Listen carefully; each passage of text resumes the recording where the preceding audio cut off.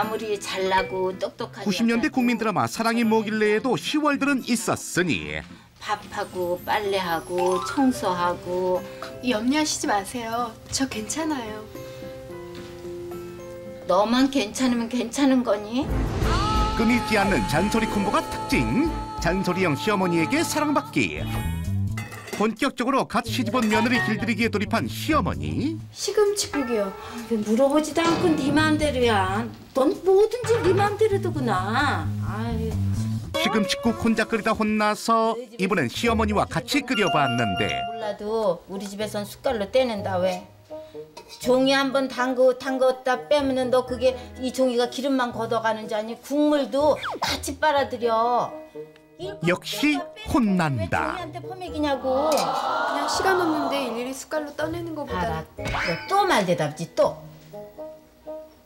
그냥 네 알았습니다 안 하고 또 네 말이 있지. 저는요. 어머니. 저는요 어머니가 그러니까 필요 없단 말이야. 그 말이야. 그렇다면 잔소리 많은 시어머니에게 사랑받고 싶다면 어떻게 해야 할까 우리 집은 식사할 때 말하는 거 아버님이 싫어하신다 복 나간다고. 그래서 싸운 사람들처럼 하고 밥을 먹지. 밥 먹을 때에도 쉼없이 이어지는 시어머니의 말 말 말 넌 어쩌면 소화불량 걸릴지도 모르지. 우리야 상관없지만. 그런데 어디선가 느껴지는 따가운 시선의 정체는. 바로 그때 시아버지와 시어머니의 모습을 재빠르게 스캔하는 며느리 아버님 본격적으로 사랑받는 며느리 되기에 돌입하는데 내일부터 아버님과의 겸상은 어머님이 하시도록 해주세요.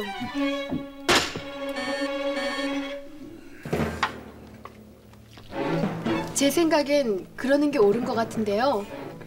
어머님, 저희들한텐 아버님과 함께 제 부모님이세요. 아버님 건너편 상석은 마땅히 어머님 자리여야지. 예, 난 괜찮아. 난 괜찮아.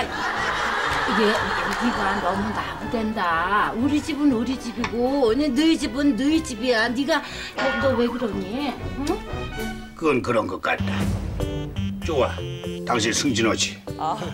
지혜로운 며느리의 첫 번째 방법은 가족들 앞에서 시어머니의 위신을 세워준다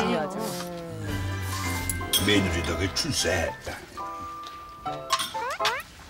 그래요. 큰 출세했어요. 그날 이후 더욱 가까워진 시어머니와 며느리 사이 이거 어머니 그리고 거예요. 시어머니를 사로잡는 두 번째 방법은 제가 바바리하고 투피스 한 벌 샀어요. 어머니 걸로요. 뭐? 마음 써주는 건 고마운데 너 그렇게 돈을 겁 없이 쓰는 게 아니야. 너, 너 내가 보기에 이거 이거 1, 20만 원짜리가 아닌 것 같은데 너희 아버지한테 혼난단 말이야. 얘가 물정 모르고 너 혼나. 벌 쓴단 말이야. 네, 벌 쓸게요.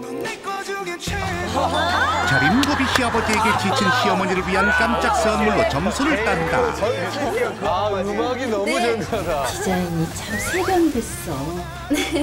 잔소리형 시어머니에게 사랑받고 싶다면 시어머니의 마음을 이해해주는 같은 편이 될 것